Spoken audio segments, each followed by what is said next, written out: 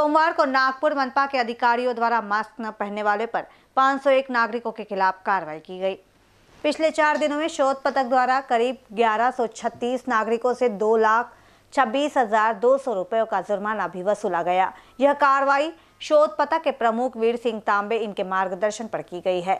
नागपुर में कोरोना का संक्रमण बढ़ रहा है। नागरिकों को कोरोना के संरक्षण के लिए मास्क, सोशल डिस्टेंसिंग और सैनिटाइजर का इस्तेमाल करने के बारे में बहुत बार प्रशासन ने बताने के बाद भी